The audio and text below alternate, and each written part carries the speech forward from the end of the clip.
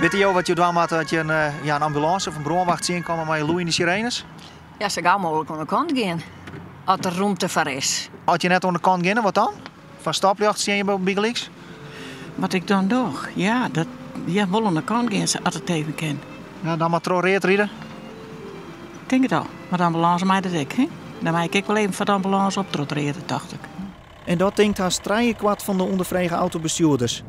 En de helte denkt dat je hudde rieden maaien als een ambulance van achteren komt en je net de kant kennen. Beide maaien dus net. Erik Vonk maakt het als ambulancebestuurder wekelijks mee. Mensen die de berming vluchten, ja, dat, dat kan soms wel eh, tot hele rare situaties leiden. Eh, dat, het opspattende gas en eh, auto's in de slip. En ik wil situaties waarbij, een, waarbij de meerdere auto's achter elkaar rijden. En de voorste auto die het is wasjongen en bijvoorbeeld de auto erachter net.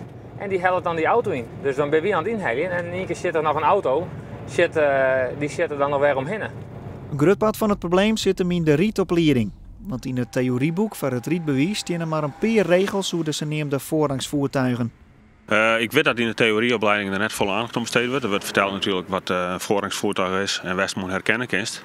Maar in de praktijk uh, proberen we de leerlingen wat te leren om rekening mee te houden met een situatie dat er een voorrangsvoertuig aankomt en hoe dan te reageren.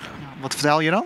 Nou ja, vooral rustig blijven en een mogelijkheid ziekje om, om uit te wikken. Hè. Geen gekke dingen van gaan. Rustig terugrijden en rugzorg. En eigenlijk goed wat de mensen met zich willen. Je mag je net troreerd rijden als een ambulance. Dat weet ik toevallig. Maar dat heb je het heet en nooit zeker niet. Het Instituut Fysieke Veiligheid, dat het onder circuit vierde, pleit het van meer voorlichting en omdenken in opleiding.